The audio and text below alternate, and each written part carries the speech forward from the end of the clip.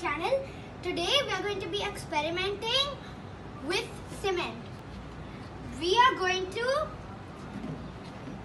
need shells for this experiment and we are going to put the shells in the pot.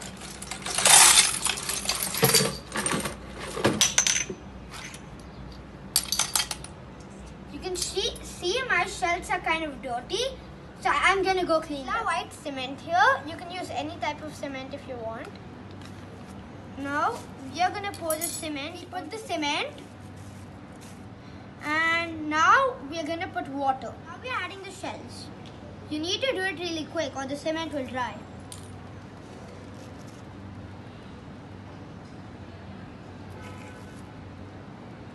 And you also need to not press the shells too much or they'll kind of drown. If the shells are drowning, add a bit more cement.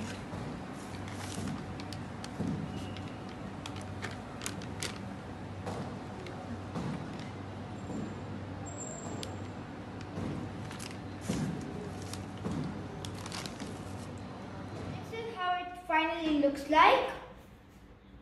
I painted all the shells and I made a sea over here. So it's like colorful shell, shells in the sea.